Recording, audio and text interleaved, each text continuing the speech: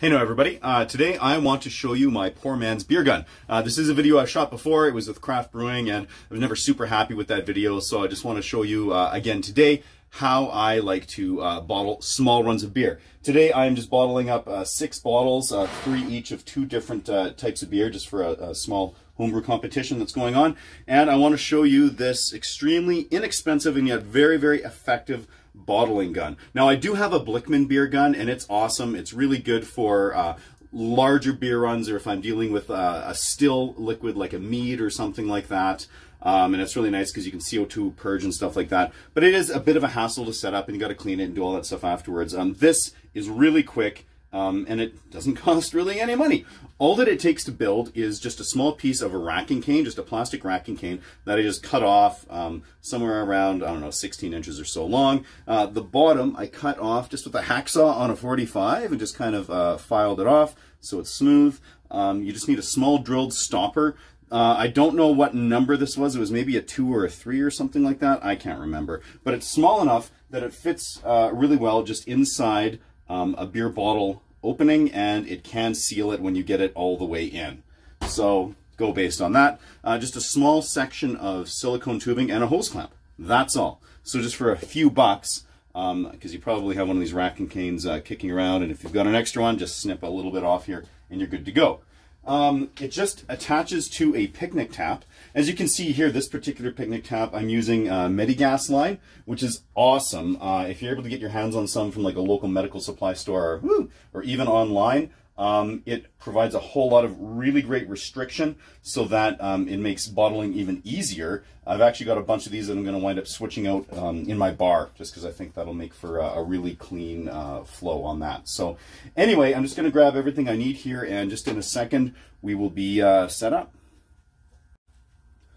All right, so all I need to do for actually uh, setting up here, other than having my um, capper and uh, caps and bottles all Star San and ready to go, this is all at the right height, is simply my Star San spray bottle.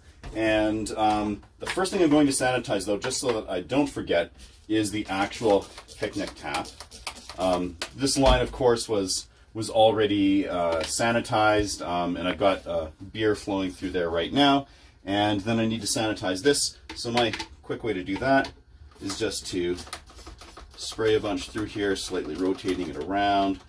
Like what I do for my racking canes when I pressure rack beers and what have you. There we go. Ah, this wasn't quite properly primed. All right, so the inside of that is all done. I'm also going to spray down. I usually do this over the sink, but just for the ease of the video, I'll do this here. Um, slide that stopper around, make sure everything's all nice and sanitized. And I'm gonna wait the requisite 30 to 60 seconds here for this to take effect. And when I come back, we will uh, actually go ahead and bottle. Okay, so um, everything's nice and sanitized here. All I did was just kind of pop the, uh, slide the silicone over top of the picnic tap. And the first step now is I'm just going to purge some of this beer out into here just to help chill down that line. And then I'm going to do this. Now this is a little bit more highly carbonated of a uh, blackberry porter, so I'm just going to have it in this bucket in case I need to let a little bit of foam run out. And that way I'm not making a big mess. Oh, but as you can see here, it's not going to be an issue. Just like that. And number two. And this two liter pitcher behind me over there, um, I have that sanitized so that because I'm actually doing all the work myself here because my daughter can't very well cap as well as run video. Um, that there is sanitized so I can set the beer gun into it in between uh, little sessions here. So anyway, let's top that up a little bit more. Good to go. And just quickly cap. So there's one. And there is the second. So as you can see, that's uh, super quick, a really easy way, extremely cheap um, method of uh, bottling beer. Um, maybe I'll give this a whirl here on another uh, another style just a sec. Okay, so in between these, I, uh, I actually purged this line with Star San and then ran a little bit of the amber ale that I'm about to be bottling into here again just to help chill down the actual gas line.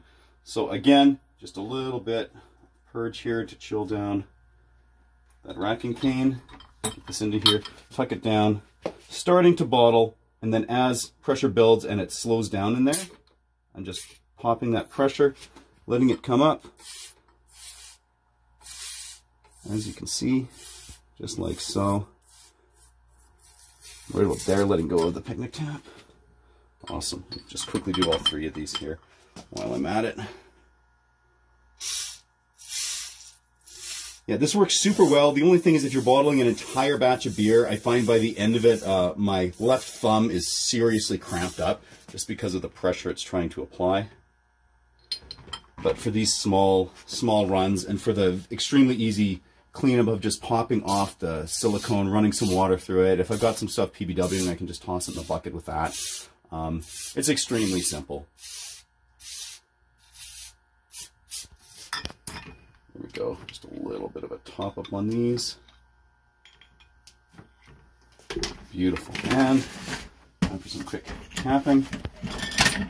And then afterwards I can just rinse off the bottles for any of them that have the little bit of beer coming down the sides there. Got to remember to keep these separate so I don't mix them up.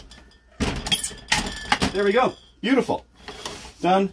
Easy peasy. And now I can just detach that. And this gets a, a quick rinse out and maybe a PBW and it's done. So yeah, folks, there you are. The poor man's beer gun. Uh, for a few dollars, you can make something that very easily and quickly uh, can bottle up your beer with minimal uh, minimal hassle. So yeah, there you are. Until next time, keep it red 11.